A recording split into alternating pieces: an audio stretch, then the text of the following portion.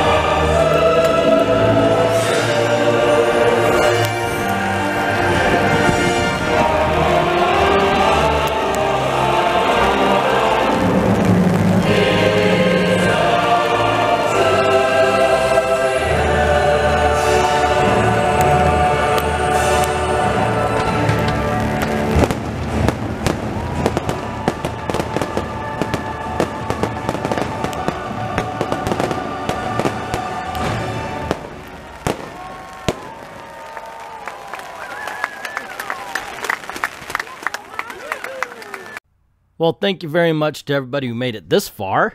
Uh, I like that show, and uh, that was the first time I saw it, so I got to see it in the rain. It, it was really nice. So let me know what you think about the Rice Krispie soundish uh, rain on the umbrella above as the music is playing. Put it down in the comments section below. If you like the video, please click on one of the boxes that are coming up around you right now. Also, don't forget to click like, share, subscribe, hit that notification bell. And don't forget to go on over to Patreon or to Ko-Fi, drop a dollar in the till and helps keep the lights on and making videos for you. I'd like thank everybody who's already done that and to everyone, all of the true believers, thank you very, very much for watching.